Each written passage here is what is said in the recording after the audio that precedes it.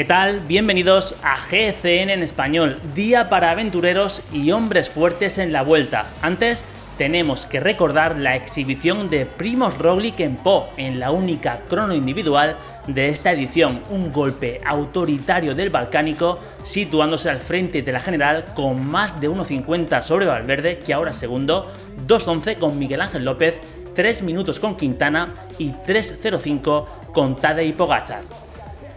Una vuelta que tenía este miércoles su undécima etapa entre Sempalé y Urdax Dancharinea, propicia como pocas para que las escapadas pelearan por el triunfo. 180 kilómetros, tres pasos puntuables y varias trampas en la parte final ideales para el juego táctico entre los hombres de la fuga. En principio, tregua para los de la general. Hubo batalla para formar parte de una escapada que acabarían integrando 14 hombres, una fuga de entidad donde Ben O'Connor, el australiano de Dimension Data, era el mejor en la general a más de media hora de Roglic. Con él, su compañero Amanuel Gebrek Xavier, Jorge Arcas, François Vidart, Ángel Madrazo, Lawson Craddock, Mikel Iturria, Mateo Fabro, Gorka Izaguirre, Damian Houson, Benjamin Thomas, Remy Cabaña y la dupla de Caja Rural Seguros RGA, Jonathan Lastra y Alex Aramburu, al que ven ahí al ataque junto a Gorka Izaguirre. Tenían 10 minutos de ventaja en la subida al Col de Izpegui con 60 meta y en ese punto ya ven comenzaban los movimientos en cabeza de carrera. Cedía Madrazo, cedía O'Connor y Aramburu e Izaguirre se marchaban por delante con una ligera ventaja sobre Craddock. Los tres formarían un trío de mucha entidad antes de comenzar a subir Ochondo, un puerto donde poco a poco se iban reintegrando el resto de fugados menos Madrazo y O'Connor. Por lo tanto, 12 hombres en cabeza como están viendo con más de 14 minutos de renta sobre un pelotón donde Jumbo Visma se limitaba a controlar con Lennart Hofstede y con Tony Martin.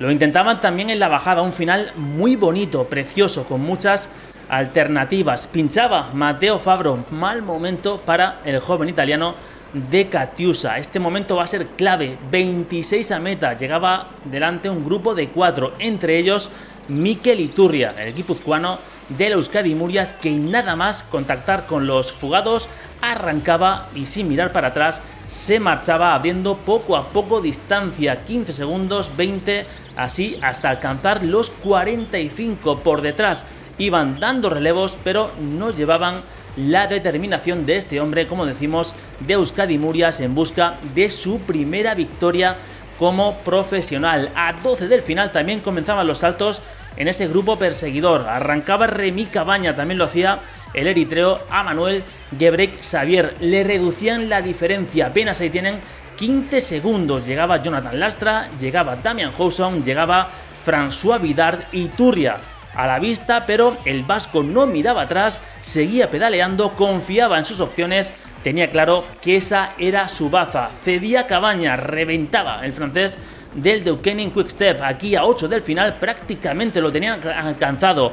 10 segundos. También Crado contactaba con ese grupo que perseguía al de Euskadi Murias buscando la segunda victoria de etapa en la vuelta tras la conseguida el pasado año por Óscar Rodríguez en la camperona. Vean en este momento a uno y medio del final ese ataque de Damian Houson como tenían prácticamente cogido a Iturria que en ese último tramo de bajada, el último kilómetro, aprovechaba para lanzar la bicicleta y presentarse en solitario, logrando un triunfo magnífico para Euskadi Murias, un conjunto que está buscando patrocinador para garantizar su continuidad en el ciclismo profesional. No se lo iba a creer, además en casa, para un ciclista vasco que, como decimos, repetimos, estrenaba aquí su casillero como profesional a los 27 años. Gran triunfo para Mikel Iturria por delante de Jonathan Lastra, que era el mejor entre los perseguidores.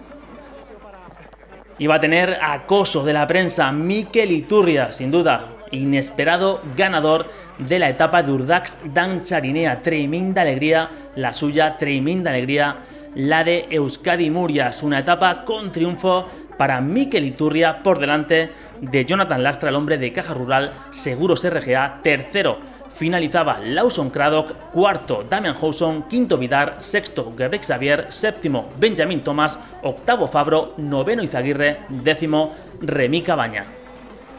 El pelotón llegaba a más de 18 minutos, eso sí, sin cambios en la clasificación general se mantienen las distancias entre los 10 primeros clasificados. Y atentos porque la vuelta llega este jueves a Bilbao, lo que siempre es sinónimo de espectáculo en las carreteras. Una etapa no muy larga, pero con ese encadenado de pequeñas pero duras subidas tan típico de Euskadi en su parte final. La capital de Vizcaya espera a los valientes de la vuelta. Hasta mañana.